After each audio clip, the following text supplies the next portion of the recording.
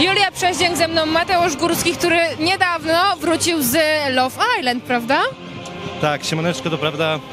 Mega fajna przygoda, ale wróciliśmy do rzeczywistości. Powiedz, co Ciebie w ogóle skłoniło, żeby wziąć udział w czymś takim jak e, program reality show randkowy? Wiesz co, chciałem e, jakby przeżyć fajną przygodę, zobaczyć jak to jest e, na tej wyspie i tak dalej. No i też chciałem zobaczyć, czy tam kogoś poznam takiego, z którym mógłbym się związać i tak dalej, nie? Żałujesz? Nie, nie, na pewno to jest duża jakby przygoda, e, dużo uczy różnych, wiecie, obycia z kamerami. Czego się nauczyłeś? No, żeby kontrolować się, wiadomo, bo tam 36 kamer i trzeba kontrolować wszystkie emocje. Udało się Tobie? Trochę tak, trochę nie. Tam dużo osób, e, z którymi przebywam, niestety ma ten problem, że im się nie udaje opanowywać emocji i pokazywać prawdziwego siebie. E, jak ty się odniesiesz do tematu freak fightów, jeżeli chodzi o zawodników, którzy e, często bardzo idą do programu reality show, żeby się wybić i otrzymać walkę? Wiesz co, według mnie to są atencjusze i ja tego nie mogę zrozumieć, wykrzykiwania sobie walki i tak dalej. Nie wiem, obraża, obraża, nie, nie znasz kogoś, obrażasz kogoś cały czas, e, nie wiem, dotykasz rodziny. Nie jest to dla mnie zrozumiałe totalnie. A czy ty miałeś przyjemność poznać już kogoś z tego świata, czy raczej trzymasz się z dala od tych ludzi? Trochę ludzi znam z tego świata, mm, nie ukrywam, że uczestniczę w nim, ale jeszcze z dale, tak sobie z daleka na to patrzę. Obrażanie rodziny, myślę, że chodzi tobie tu głównie o rodziny murańskich. E, jaki ty masz do nich stosunek?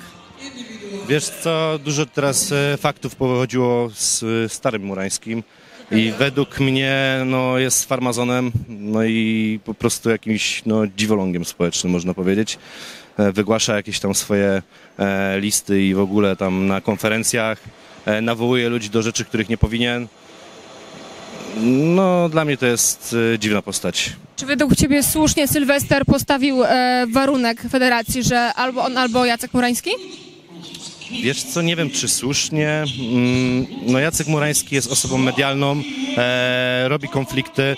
Konflikty się sprzedają w tym e, jakby świecie frików i jest przydatną osobą dla jakby federacji. Wiadomo, Syl- Sylwester jest też e, mega ważną postacią. I zobaczymy co wyjdzie, czy już nie wiem, czy coś wyszło, kto zostanie, kto nie zostanie. Dalszym ciągu jest ustalane, ale odnośnie rodziny Murańskich, nie wiem czy widziałeś, teraz Mateusz Murański został ogłoszony na walce e, z, ze Scarface'em na Prime. E, nie wiem czy zauważyłeś, ale Mateusz odsunął się od e, Jacka, od swojego ojca, nie było go ani na konferencji żadnej, ani na gali. Czy myślisz, że to jest spowo- spowodowane tym, że według niego Jacek poszedł w to za daleko? Kurczę, nie mam pojęcia. Według mnie powinien się odcią- odciąć od ojca, no bo jednak Mateusz, poznałem go na gali, e, nie jakoś osobiście mega koleżeńsko, ale wydawał się naprawdę spoko koleś, a Jacek, e, jego ojciec, no trochę go pcha w dół, nie? I to widać. To chyba wszyscy zaczęli, za- zaczęli jakby zauważać. Więc myślę, że to jest dobrze akurat, że się odciął. Przed nami jest teraz e, Prime, gala Prime'u 26 listopada. E, czy ty masz jakiegoś swojego faworyta albo ulubioną walkę, na którą czekasz najbardziej? Jestem bardzo ciekawy Normana Parka. Myślę, że to będzie mega sportowa walka. No i jestem ciekawy, czy wygra. No myślę, że ma takie doświadczenie, że sobie poradzi, ale no też ma przeciwnika godnego, więc zobaczymy, co się będzie dziać. A Kasiusz versus, po, versus Popek? No myślę, że to oczywiste. No, Kasiusz jest bardzo dobry w boksie. E, pokazał już to wiele razy i myślę, że to szybko się skończy. Czy ty kiedyś miałeś stycz- styczność ze sztukami walki? E, tak, trenuję cały czas. E, nie jestem zawodowcem i nigdy tym zawodowcem nie będę, bo to e, i friki, i zawodowstwo to jest zupełnie co innego. Ludzie to mieszają. I na przykład właśnie śmieszne jest to, że ludzie, ci wszyscy fighterzy, którzy we frikach zaczynają startować, mają się po, po, nie wiem, po dwóch walkach, że są zawodowcami i tak dalej, nie? I to jest dla mnie śmieszne. Coś sobie tam trenuję i dla zdrowia. Wchodzisz do tego show biznesu i tak mi się skojarzył Nathan Macoń, który ostatnio odbył swoją pierwszą walkę. E, też jest w tym raczkujący. E, jestem ciekawa, co ty sądzisz o Natanie. No memów jest o nim bardzo dużo. Jest to no chyba najbardziej cringe'owa postać e, z frików, mogę tak powiedzieć. Nie wiem jak on miał, Boski kto? Tam jakoś pseudonim? Król estetyki, no, no to jest no nie no, klaun ogólnie, jest takim klaunem, że to jest nieporozumienie. Wydaje mi się, że na siłę szuka walk, e, będzie robił konflikty z wszystkimi, żeby te walki dostać, no i według mnie jest e, typowym atencjuszem. A jak to jest według ciebie z tymi sterydami? Jest czysty czy raczej nie? Jeszcze raz? Z sterydami, czy według ciebie jest czysty, czy jednak nie do końca? Nie mam pojęcia, czy jest czysty, nie będę go oceniał też, no ale wydaje mi się, że coś tam sobie bierze, no. Ostatnio na e, jednym z eventów miałam przyjemność porozma- porozmawiać z Vero, która również była w Love Island. E, czy wy lubicie się? To znaczy ja ją lubię, jest e, w porządku dziewczyną. Nie zdążyliśmy się tak poznać w programie jakoś mega dobrze e, i nie utrzymujemy ze sobą kontaktu. No i tyle mogę o niej powiedzieć. Myślałam, bo tam e, jeden z jeźdźców, myślałam, że spada z konia, a tu są takie po prostu wygibacy, że oni... Oni nie... Patrz, patrz, patrz, patrz, patrz co tu się dzieje. Jezus Maria. A w ogóle dlaczego znajdujesz się tutaj dzisiaj? Co cię sprowadza na kawaliadę?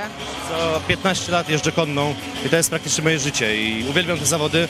Tu na przykład startowałem. Tak, tak, startowałem. E, nie takich międzynarodowych, wiadomo, ale niższych, e, niższych kategorie. I po, Jakich? e, do metra 20. Nie? Do 25 roku życia jeździłem tak fest od 16. Masz swoje konie jeszcze? Nie mam, na razie nie. Miałem. Ile? Cztery. I nie myślałeś, żeby pójść w to zawodowo? Bardzo dużo osób e, traktuje to jako nie dość, że pasję, sport, to takie codzienne życie, zarobkowe. E, czy według Ciebie to jest opłacalne? Myślę, że jest to opłacalne, jeżeli ktoś... W koniach jest taki, to jest dziwne, bo ogólnie trzeba dojść do pewnego szczytu, żeby coś zyskać, tak? E, Normalnie sponsor, który inwestuje w zawodnika, nie przyjdzie tak sam z siebie do, nie wiem, e, młodego zawodnika, który nie ma pieniędzy i ma wielki talent i chce się rozwijać, tylko musi coś osiągnąć, a żeby coś osiągnąć, musi wydać mnóstwo pieniędzy, żeby po prostu jeździć międzynarodowe zawody, nie? Albo musi być e, dzieckiem zawodnika, który jest już rozpoznawalny. Albo tak, albo no, dzieckiem e, cudownych rodziców, którzy bardzo wspierają i pomagają i kupują koniki i tak dalej, więc... Ale fajny sport, e, naprawdę mega widownia, ludzie tu się bawią, to jest po prostu zajebiste show. Zupełnie inna atmosfera, taka odskocznia od tego, e, gdzie myślę, że teraz będziesz próbował częściej, czyli na galach freakowych. No to jest zupełnie co innego, nie?